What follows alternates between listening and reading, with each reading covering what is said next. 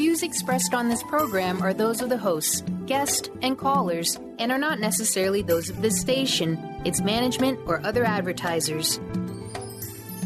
You're listening to Transformation Talk Radio.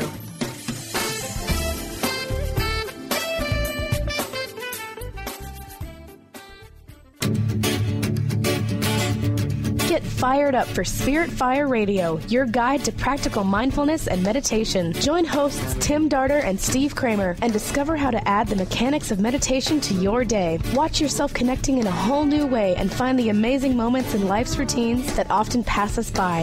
Add to your awareness with Spirit Fire Radio. Now, here's your hosts, Tim Darter and Steve Kramer. Hi, I'm Tim Darter. And I'm Steve Kramer. And welcome to Spirit Fire Radio. We just got done with the Columbus Day weekend, and the colors up this way in New England are absolutely stunning, which is a great segue into this week's show because we always start step 5 mm-hmm. with um, a phrase about autumn and how the leaves rejoice and release. And the step this week is soften, open, and release. Yes. Last week we had soften, open, and receive. And we talked with uh, singer songwriter Lars Young about inspiration and ways to receive by observing, by observing the human, the human condition, by observing human experience, and creating songs by bringing that into the creative process, by using inspiration, by observation, by allowing, softening, opening, and receiving inspiration.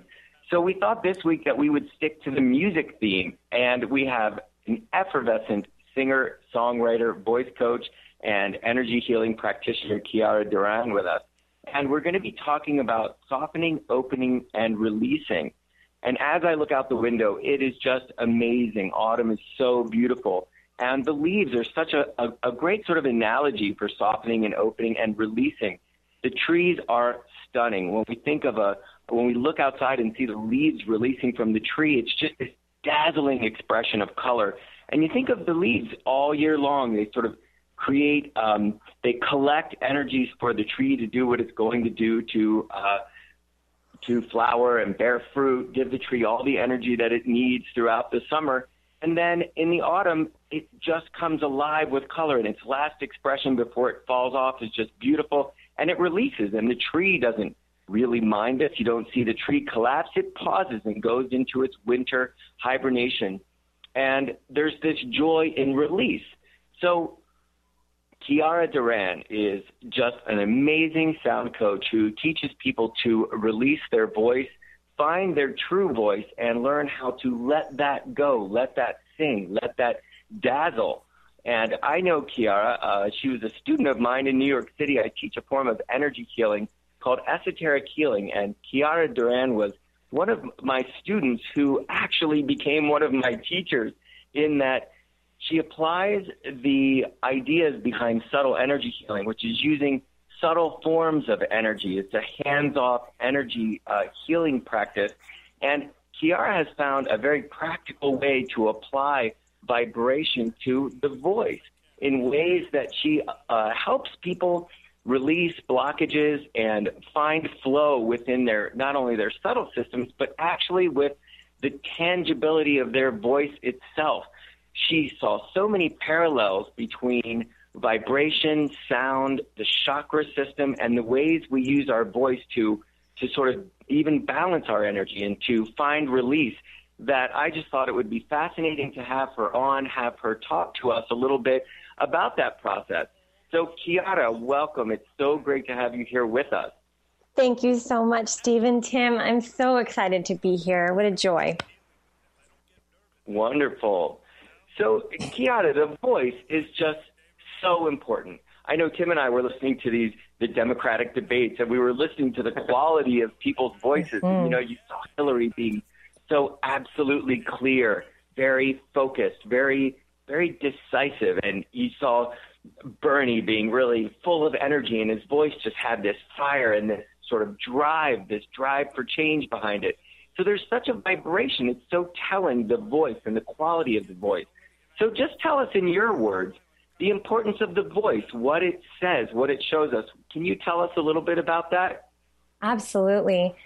Well, in my own experience with my own voice, both my creative voice and my singing voice, um, I've I've discovered so so much just in the process of developing and uncovering my own um, contractions and blockages along that in that path. Um, the students that come to me too, it's very clear just in the sound of their voice and what's happening with them when they arrive to me that I discover um, what they're needing very, very quickly. Um, they can be speaking just in speaking to me, and once their voice starts to sound when we start to sing, I can get a sense of what um, is going on for them, where they are tight, and what they need. Um, and when we walk around the world using our voice all the time, we don't realize how much it represents about the things that we feel about ourselves, how we think about ourselves, what we think we're capable of doing or not doing. So the work that um, I do with people on their singing voice immediately translates. It's the same conversation, it's the same work that happens on a um, holistic level with the entire system, spiritually, mentally, emotionally, and on their physical body. Which is just fascinating. And I hear so much it's about how we're received. So once Absolutely. again, it's that give and take of you sensing right away when you receive a client and you receive the in your own ears in your own systems what's the quality of their voice are they sort of um, expressing the fullness or are they not expressing the fullness? So i love it again it's this exchange of of receive and release. Are they a match?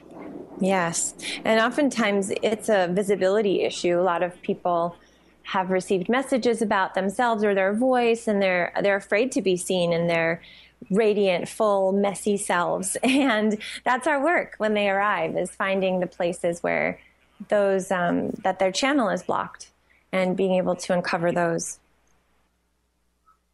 transformation we we say that word so much and it's so interesting that we're on transformation talk radio and i hear that transformation is such is what's happening, you know, in your office or with your clients, and that we're on talk radio. So once again, here we are using our voices.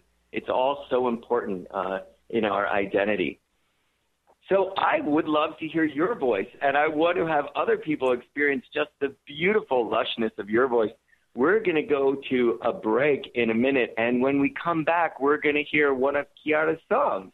We're going to hear uh, a clip from Caterpillar Eyes when we come back. So we're going to go to break and then more with Kiara Duran.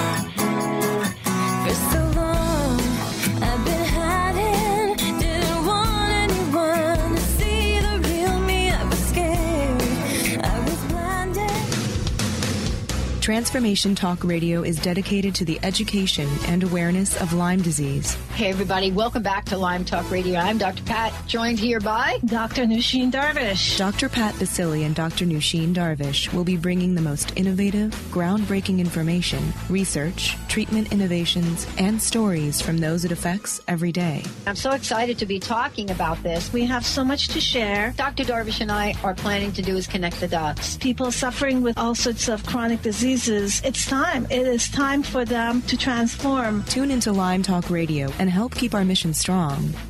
For the loyal listeners out there that have been listening to this incredible show on Lyme disease, we are not going to let you down. We're going to come through stronger and enrich the platform for Lyme disease awareness through Lyme Talk Radio. The message will continue, the conversations will become stronger, and the healing epic.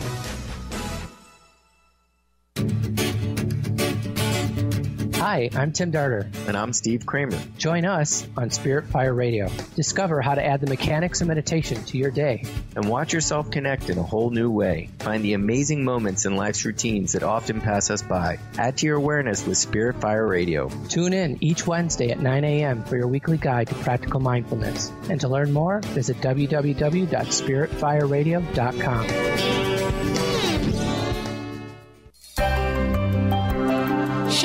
Radio. Find Your Shine with Kelly is the show that celebrates what makes you, you. Join co hosts Kelly Wadler and Dr. Pat Baccili as they break down how to brilliantly fuel and move your body and love what makes you shine. Kelly is a professional arts and wellness coach dedicated to helping brilliant women find their confidence, energy, self love, and shine. Tune in to Shine On Radio with Kelly and find your shine on transformationtalkradio.com.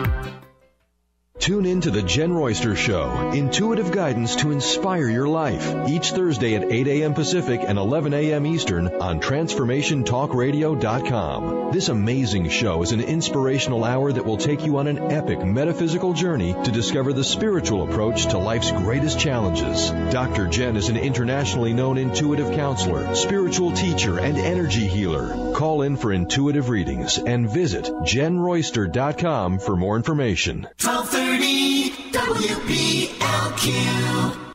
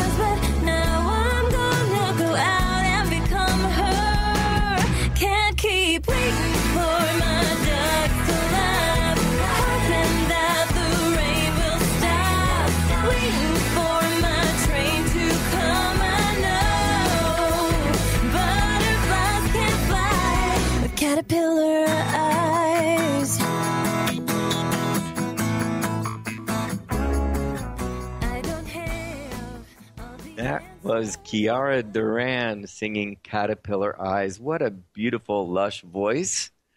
Welcome Thank back. you.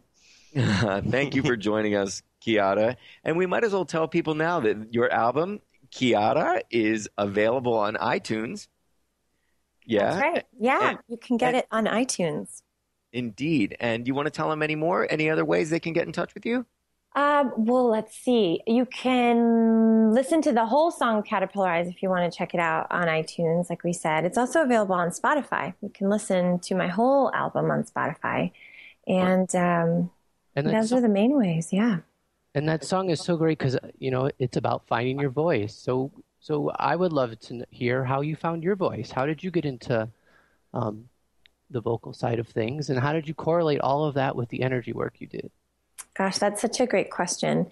And it's been the heart of my work, I would say, for my whole life. But since I've discovered this energy work and really been a student of it and getting really deep into it um, over the last five years, I've found such resonance between the two. And really, all along, I was doing vibrational energy work healing with my singing. I just didn't know it because uh, the energy work is vibration. And um, when when I work on people's chakras or my own chakras, can't necess- you don't necessarily um, hear it or see it with the naked eye, but um, the vibration is present. But the cool part about when we sing is that we can actually hear with a voice the vibrations changing and mixing and spiraling up and moving in the flow when they actually start to to ring. And that can really be a fun way to get that experience that you have in an energy healing treatment through esoteric healing but you, you get it in a way that you can really interface with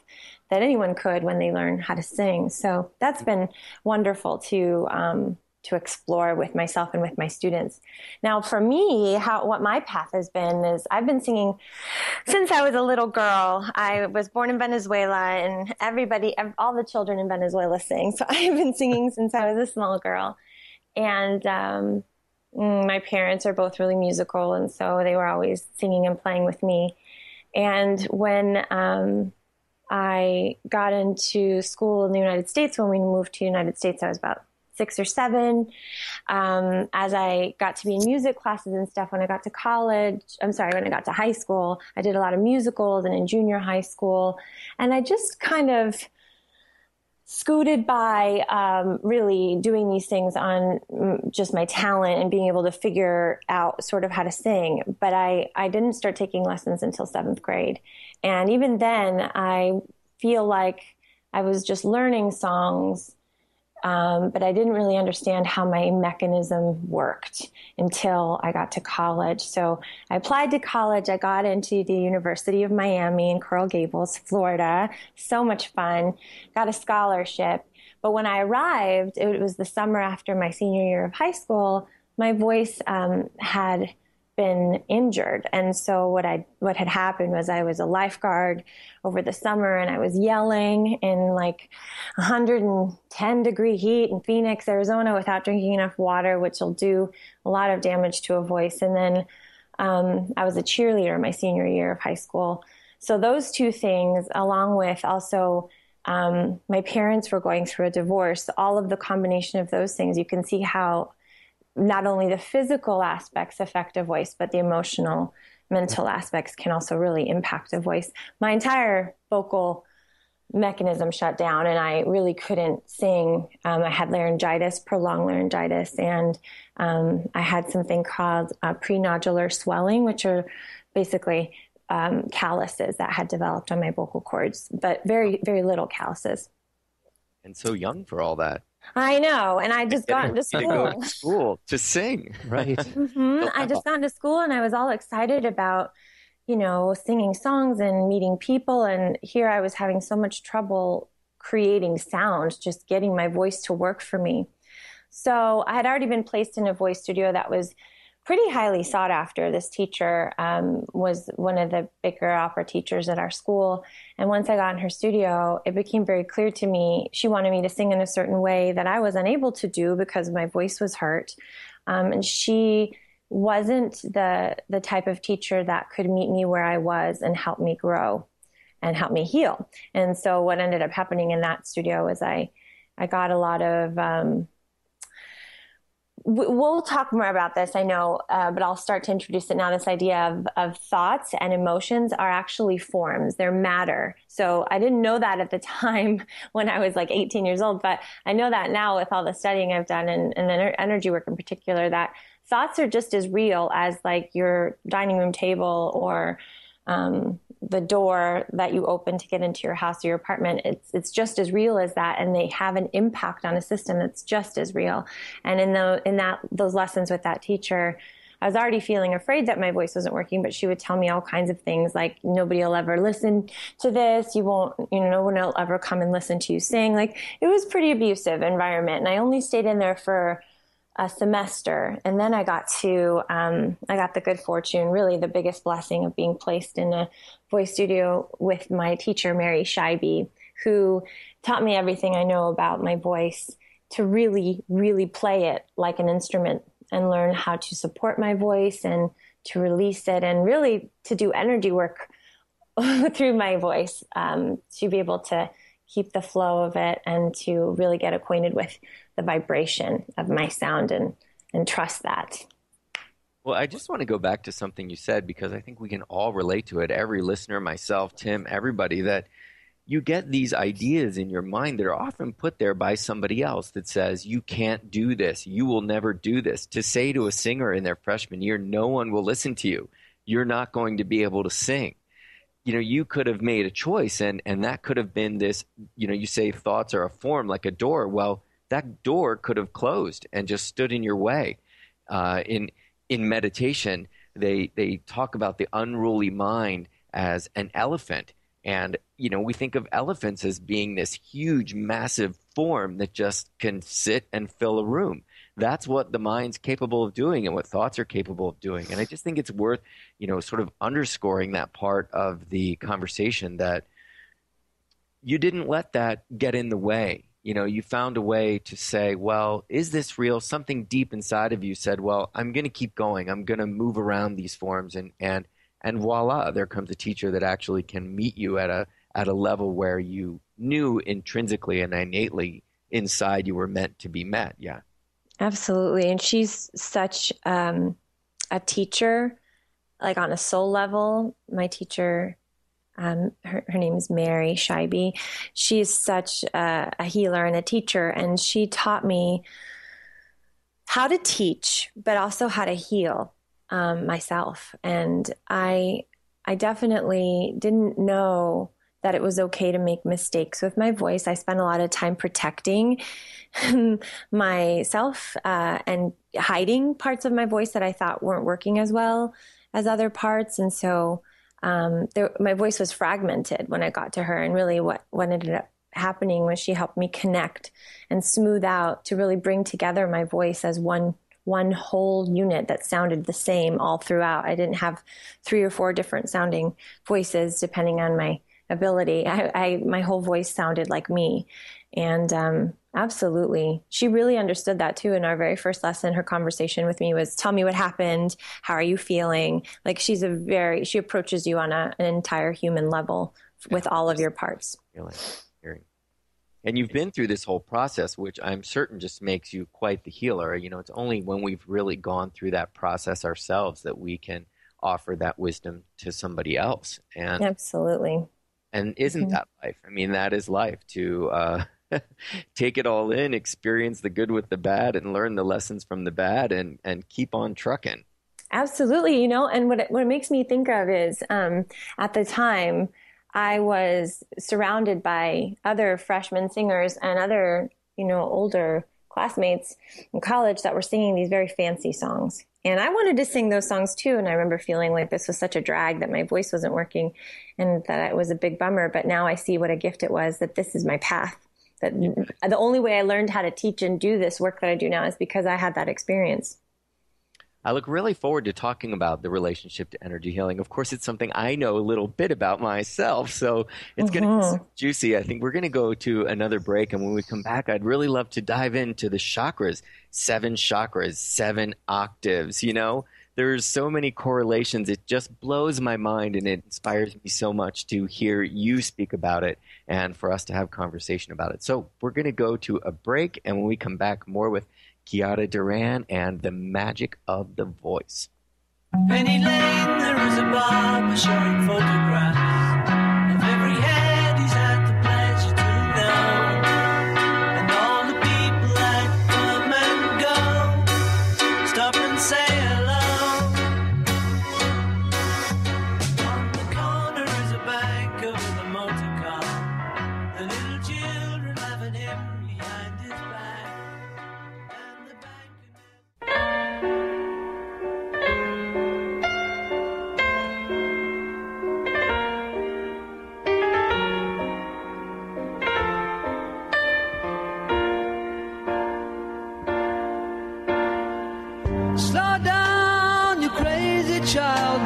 You're so ambitious for a juvenile, but then if you're so smart, tell me why are you still so afraid?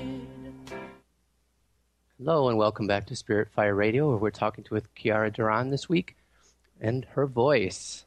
Yes, indeed, the voice. It's so important.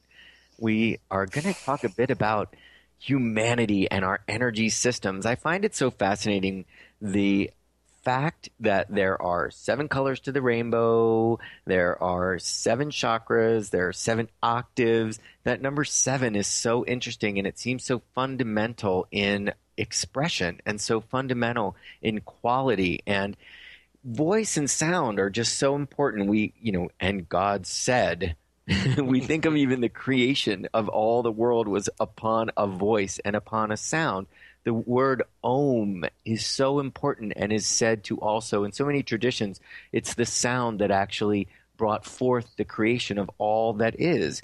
And humanity itself is so we in in certain lineages of wisdom humanity represents the throat center the throat chakra which is mental creativity. And i find it interesting that as we talk about soften open and receive soften open and release we're talking about breath and we're talking about the lungs and in the chakra system the lungs are ruled by both the throat center and the heart center so the throat center in terms of bringing the oxygen in and the exchange of oxygen and carbon dioxide. And the throat center is related to the lungs as the oxygen goes into the bloodstream and is circulated. So that is the master teacher. The lungs are these master teachers conceptually and vibrationally for all of humanity. The heart center is so important for us to realize that what I do to you, I do to me. This idea of circulation, of of connectedness, interconnectedness, of union. All of those words have to do with the heart center. And the throat center has to do with creativity, of being of service, of what do we release out into the world. So the breath as respiration, we see the lungs as repetition, circulation, all of these words all sort of have so much to do with humanity evolving and moving forward. I just find all that so fascinating, and that this area where our voice is created is in the throat itself. So, Kiara, you you relate the chakra system to the voice. So I personally have been on the other side of one of your sort of little miniature of sort of um, uh, sessions where she's tapped on areas of my body and, and, and shown me where I'm holding my blockages. Esoteric healing has so much to do with finding ways to create flow within the energy system, um, creating balance and releasing blockages so that we can really find um, a sort of flow that is representative of our true self, of our innermost self. And so you can find in somebody's bodies by sort of holding their body, by feeling the vibration, by feeling where in their system they're trapped. And tell us a little bit about that. I mean, I know I've been on the receiving end where you've you've tapped on my cheekbones and said, "Here, you're at. You know, this is the vibration of of certain centers in your body." Can you just tell us a little bit about that? Oh yes, this is at the heart of how I approach uh, teaching. Um, and really, the way that I begin is to talk with my students and with myself about singing by feel and not by listening. So many of us sing as we're singing, we're checking ourselves out. We're looking to see, was that good? Was that bad? Did I crack? Will I crack soon? Like this is the distraction that takes place while we are singing oftentimes, most more likely than not. Um, and what I do is bring my students into this experience of feeling their voice. So singing by feeling the vibration. So putting their hands on their body and feeling what their voice feels like when the vibrations are released and, and flowing. Um, and then it takes the attention away from this critical, controlled, perfectionistic mindset that really is um, a waste of energy, actually, because when we're listening to how we're singing, the note that we just sang already happened. We can't adjust it. It's already done, but it all, all it does is create more stress and worry and tension for us and gets in our way even more. So if And we can, I- oh, sorry, go ahead. you, but but once again, you keep hitting on these just amazing key points, which is those those sentences that we hear in our head that you say somebody comes in and they've got these these thought forms that are getting in the way. And by feeling they're actually in the present moment. There and you say you know as that note you just sang is in the past and it's never going to be here again. Once again it it's so relative to just simply being present and to um, really embracing what's happening in the now. So Yes. I had to say that I I agree, and that's exactly what it is. It's taking yourself in hand, you know, being with yourself in a way that's really intimate, actually, that um, has to do with walking through the thing that feels tight, the thing that is sticky, the contraction, and looking straight at it instead of trying to walk around it or ignore it or distract from it or just hide it. Um, so the interesting thing that happens when we sing by feel is that all of those thought forms, emotional forms, contractions come forward to be seen. And it is very uncomfortable for a beginning singer, particularly because they've spent a lot of time trying to ignore that and not see that part of themselves. And um, the, the great thing that I love about now the connection that that has to the chakras is that, of course, um, energy follows thought.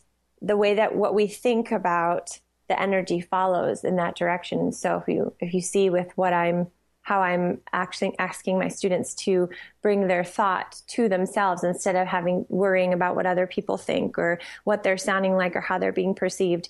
Instead, bringing it and really centering in their heart, centering in their grounding and coming from that place. um, letting their voice ring really through both not only their throat chakra but their heart chakra both resonate you know one of the resonating chambers the speaker systems of our voice which is what you were talking about and tapping on your face what i was doing when i was tapping your face. There's one speaker system that's right where our heart is where you would put your hand to say the pledge of allegiance. It's right there. The other one is is coming right underneath your eyes where the apple of our cheeks are. And then above that is right above our eyebrows underneath you know, you can put your fingers right under your eyebrows. Actually, there's some uh, nerves there, and you can really feel the vibration happening there. And then the very top of our head is um, where we would sing to do those high Mariah Carey whistle tones. So all of this structure of our voice really is set up to release the vibrations as they get finer. They're, they need more space to vibrate, and we don't. If we don't understand that structure, as singers, we can really spend all of our time pushing on our voice, trying to shove it through our literal physical throat, our neck.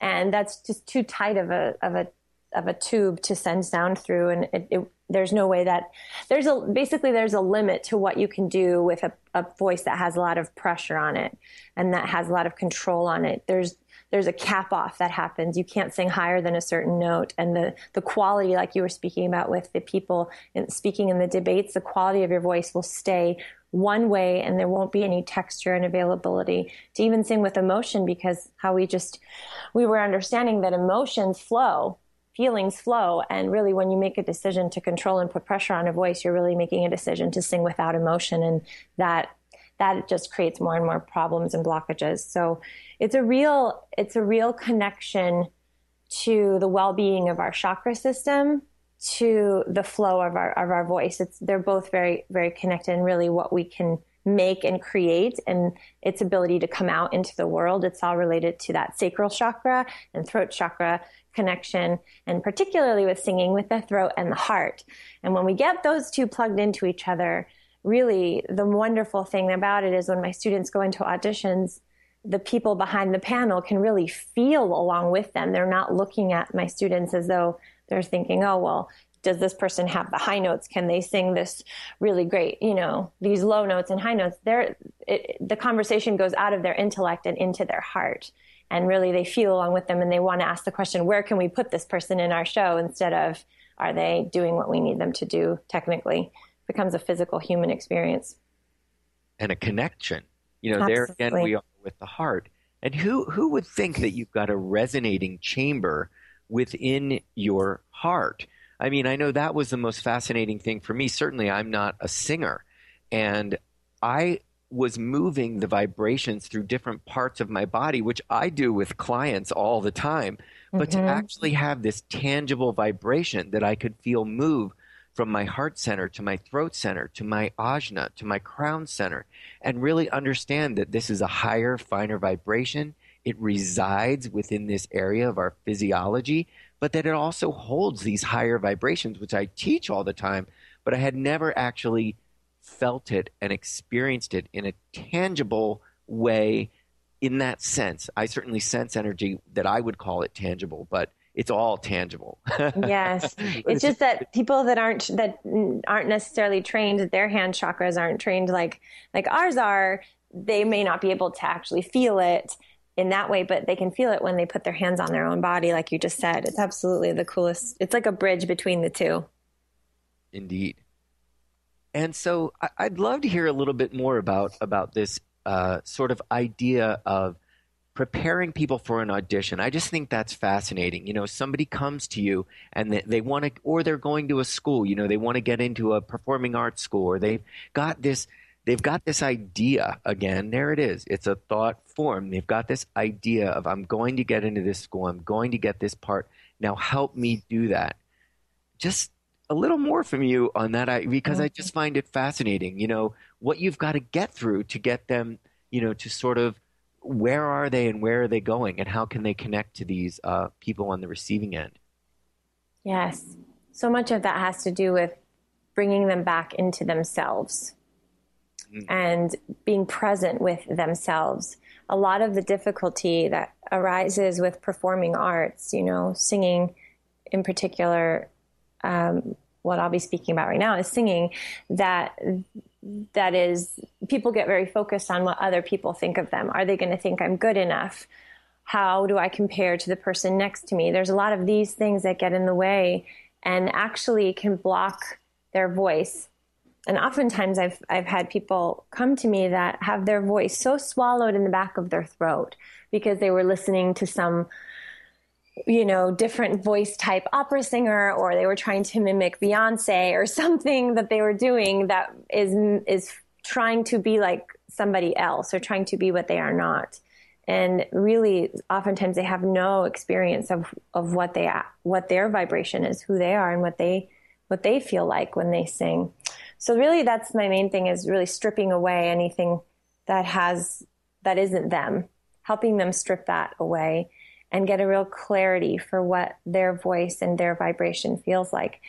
And uh, I recently had an experience with a young woman at a university. I was coaching students for hairspray auditions, and she came into me and was singing with uh, her voice was pretty. It was very pretty, and um, she, as she was singing the song through, I could see she was terrified. Like the energy in her face and her body, she looked terrified, even though her voice sounded fine. It sounded pretty, but it didn't have a lot of richness of texture or emotional presence.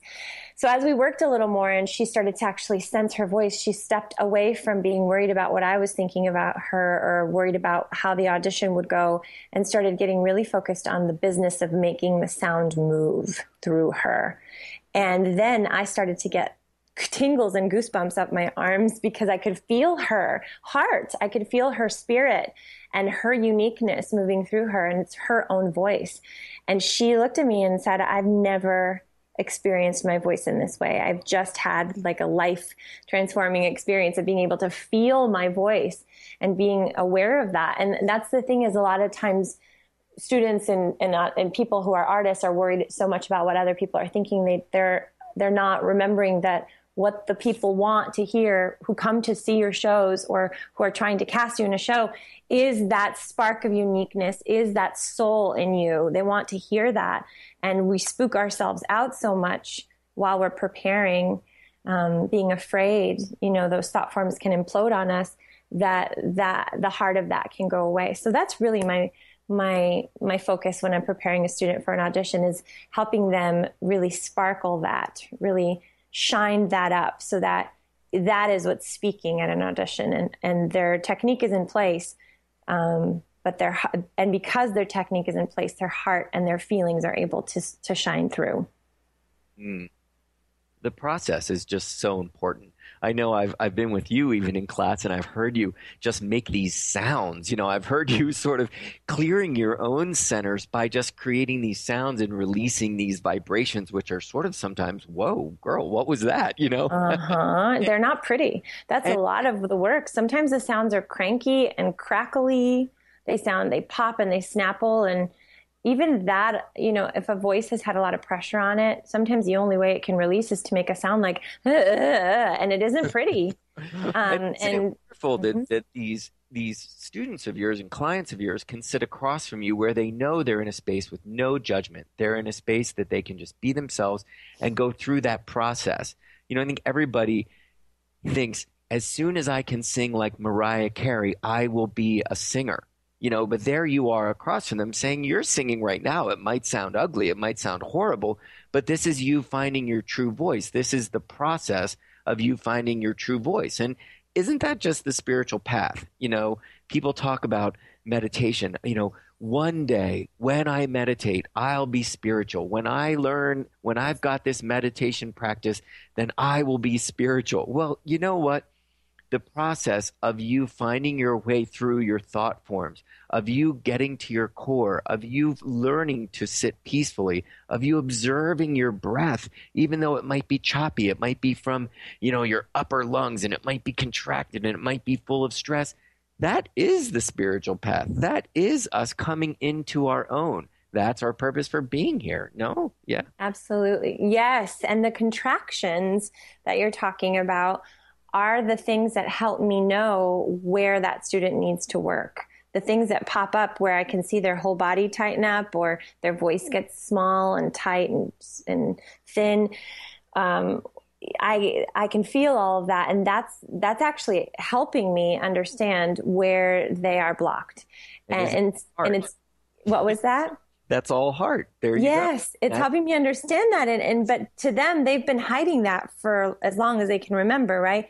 And I'm asking them to reveal that and expose that. And what you were saying about sounding horrible or ugly, that is what they were thinking was going to be the end of the world. You know, oh, if I crack or my voice sounds bad, then then who am I?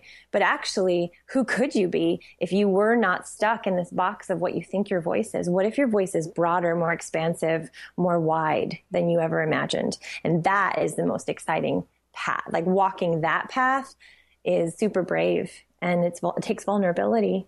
But if they're willing to do it on the other side of it, they find a voice that is malleable, flexible, flowy, that has texture and qualities in it that are really human and that have the ability to change a life and connect to another person.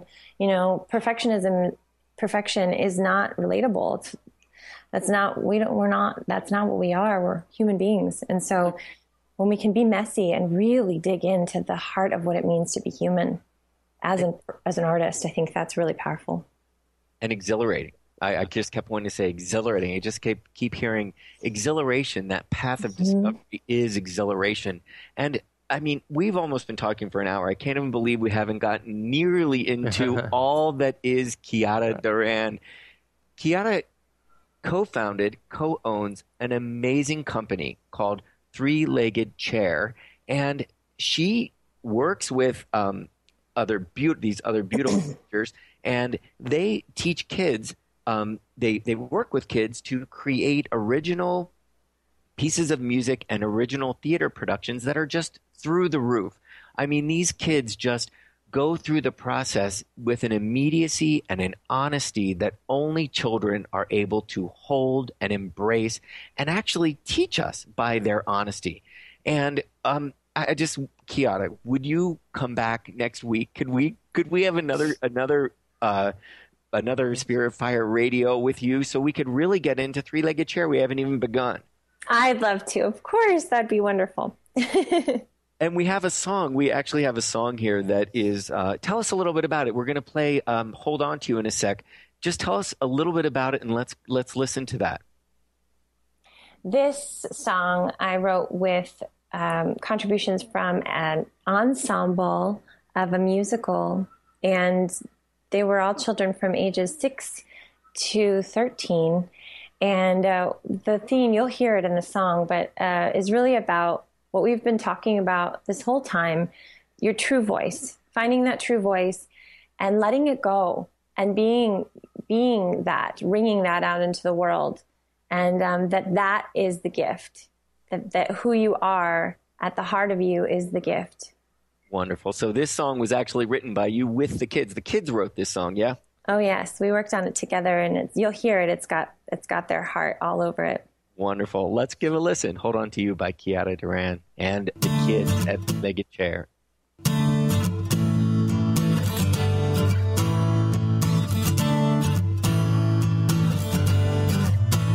You don't have to do everything right or see things exactly the same way that I do. You can try to do it anyway, even without perfect words to say. You won't ever feel so proud if you go follow the crowd. So let it go and be yourself. I promise it will be alright. Don't you change for someone else. Hold on to you with all. You're a gift to the world. Whether you're a narwhal, a robot, a bird, or a girl, hold on to you. Hold on to you. No one is happy all the time. There are lots of emotions deep down inside you. Sometimes we just need to know that it's okay to talk and let them show. You might want to keep them in and say nothing's happening, but let it go and be yourself. I promise it will be alright. Don't you change for someone else, hold on.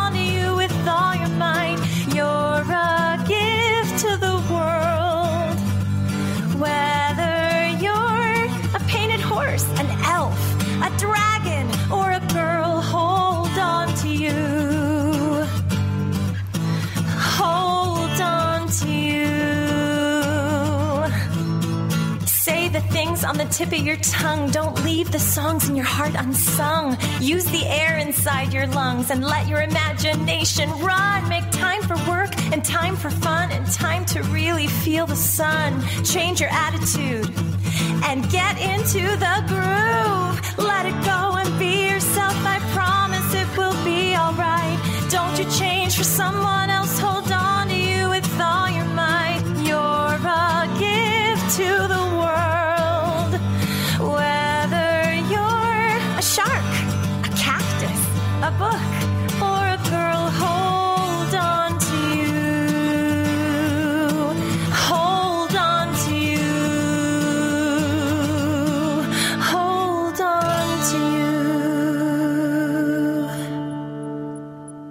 you. Kiara, I'm teary. I mean, it's just magic. It's just magic that you are just teaching these kids to embrace life in its fullness and in its ups and downs and telling, you know, these little kids singing Hold On to You. It's just beautiful. I mean, I'm so happy you will come back and join us Yes. next week. There's so much to talk about. I mean, Three Legged Chair is just an amazing endeavor. Um, so, just uh, what a contribution, you know, what a contribution that you uh, give to the world with these beautiful uh, singers and children. And it's just amazing. So, that's all I have to say. Thank you, Steve. Thank you so much. This has been so much fun, you guys. Appreciate it.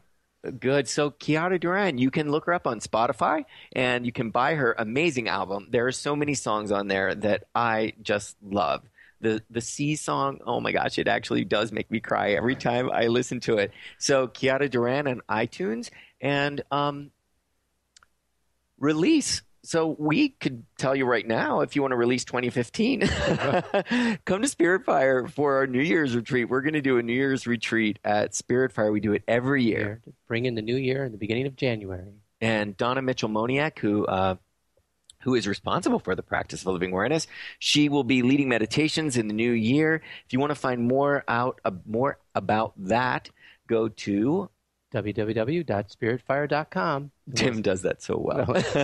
and for more about the show and more about Kiara Duran, you can go to uh, www.spiritfireradio.com. And Kiara, it's just been a joy, as always, to talk to you. And again, we'll see you next week, which I can't wait. For part two. Yes, see you then. Thanks a lot. All right, Kiara, thank you so much. Thank you for listening to Spirit Fire Radio. Tune in each Wednesday at 9 a.m. Pacific Time for your weekly guide to practical mindfulness. Join Tim Darter and Steve Kramer and discover how to add the mechanics of meditation to your day. Watch yourself connecting in a whole new way and find the amazing moments in life's routines that often pass us by. Add to your awareness with Spirit Fire Radio. To learn more about Spirit Fire, visit www.spiritfireradio.com.